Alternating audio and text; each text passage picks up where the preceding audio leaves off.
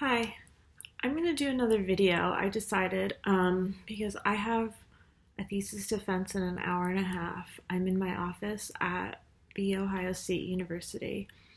Um, I know some people don't like it when we call it that, but also if I don't call it that, if I just call it Ohio State University, somebody will say to me, Don't you mean The Ohio State University? You really cannot win with Ohio State University or the Ohio State University when it comes to um, articles, really. So, anyway, I'm here in my office. Um, this is where I work. I don't work here very much, but this is where I work today. Um, look, look at the quad. Isn't it collegiate? Um, okay. I, yes, I have um, a thesis defense today that I am leading, and um, I should eat lunch. I should eat this frozen meal that I brought, but I'm not hungry um, and I'm burned out and I don't want to do any work. So um, I don't want to go to the post office. I don't want to answer emails. I don't want to do anything. So um, I'm going to talk to this camera about rejection so that I can feel like I'm doing something. Um, so here in my office, I have this box of rejection slips.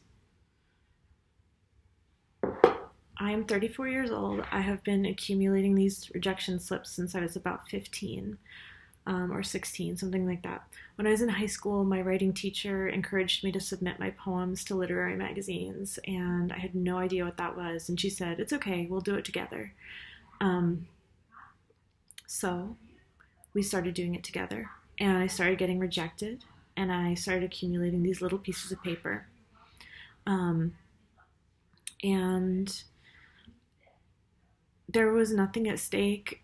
It didn't bother me to get rejected. Um, as far as I remember, I just sent the poems out to more places because it always seemed like there were more places. I had that book, Poets Market, or maybe I had Writers Market first and then got Poets Market. And I was like, I will never run out of journals to submit to. Um, I actually didn't get an acceptance from a journal until,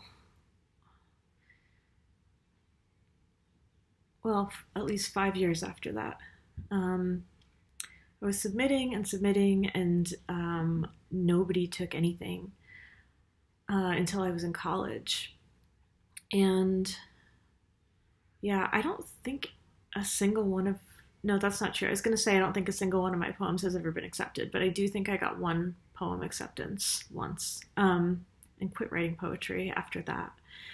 Um, actually, when I was in high school, um, I was very serious about poetry, and um, a visiting writer to my high school told me he read my poems and he said, "Well, you know, you're a good high school writer. You're you're a good high school poet." but you're not a good poet, are you? And I was like, uh, no, because you're a man and you're telling me I'm not, so no, I'm not.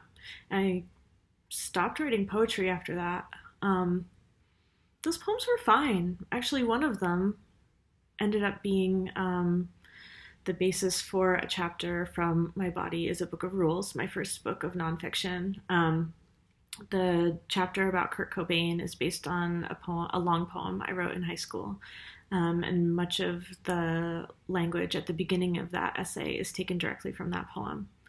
Um, anyway, once I got to college, I wasn't writing poetry anymore, but I was still submitting it, and um, there was a literary magazine called Free Lunch, I believe that would give a free subscription to any serious poet who submitted and requested a subscription, I think.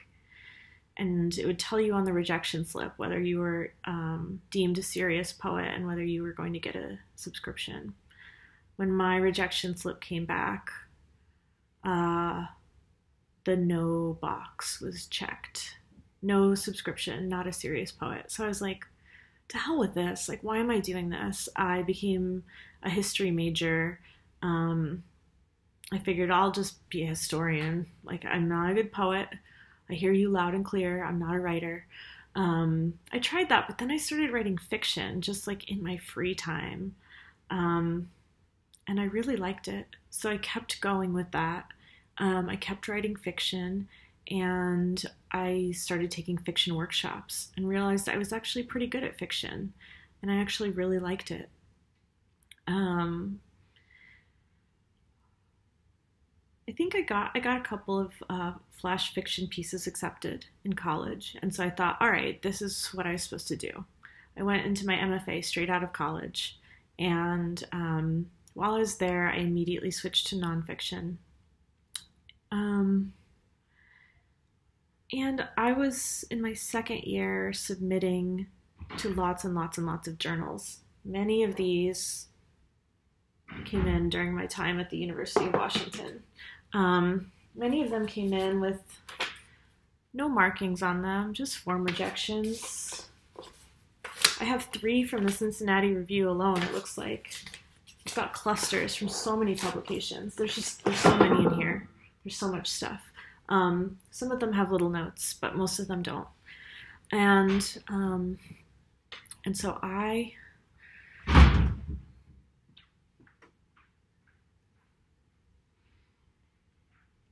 lost my train of thought.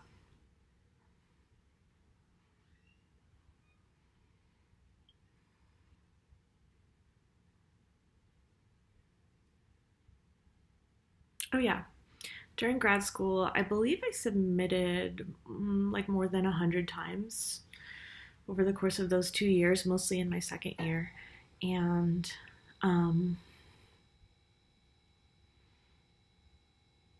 I didn't get any acceptances.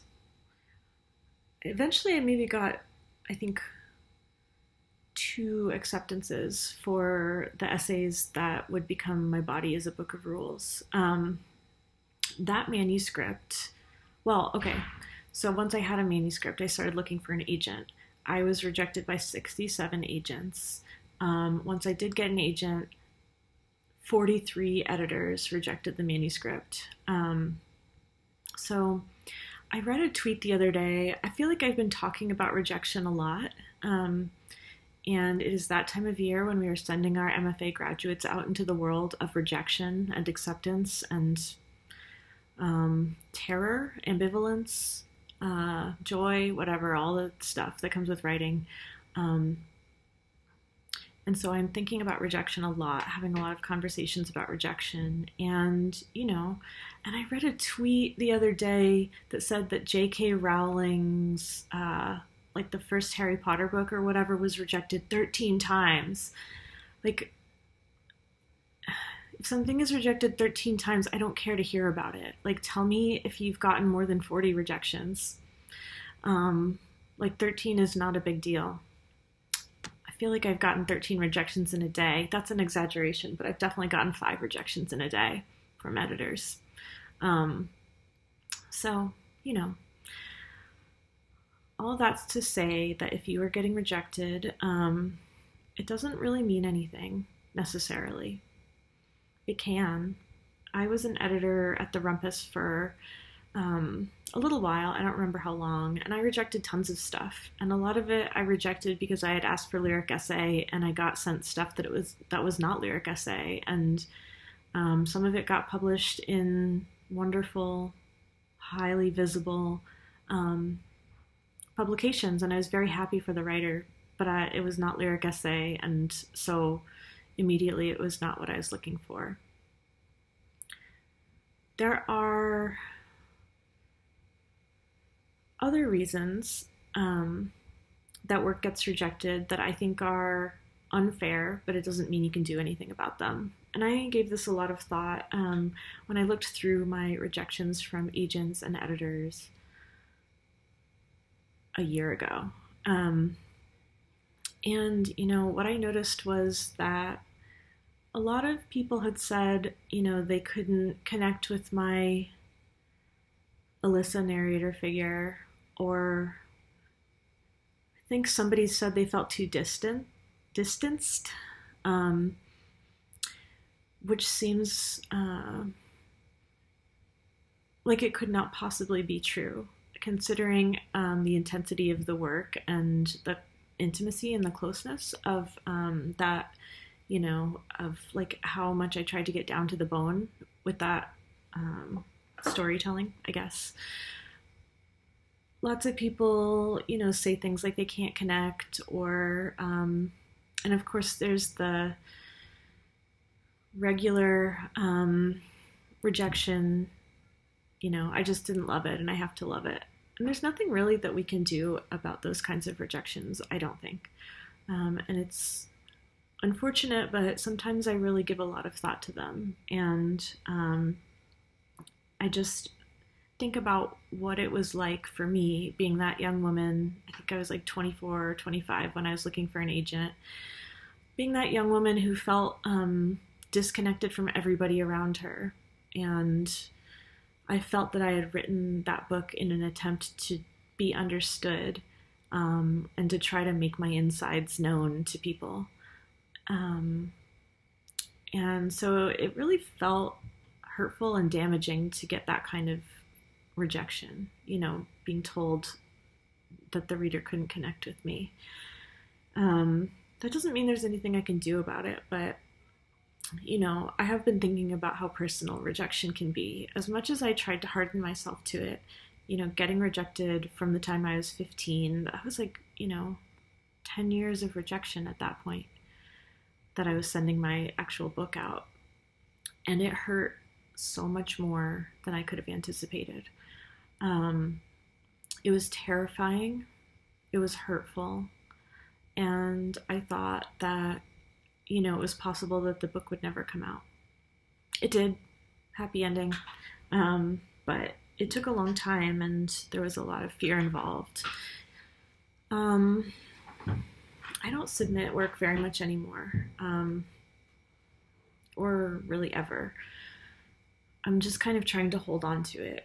That's another thing, you know, I feel kind of conflicted about is the idea of um, sending out work as it's finished. You know, I think it can be really a good idea to hold on to things until if you if you feel like you're working on a book, to hold on to things, um, you know, until you feel like you actually have a whole thing that's a book, and just see how everything hangs together um, before you immediately send out.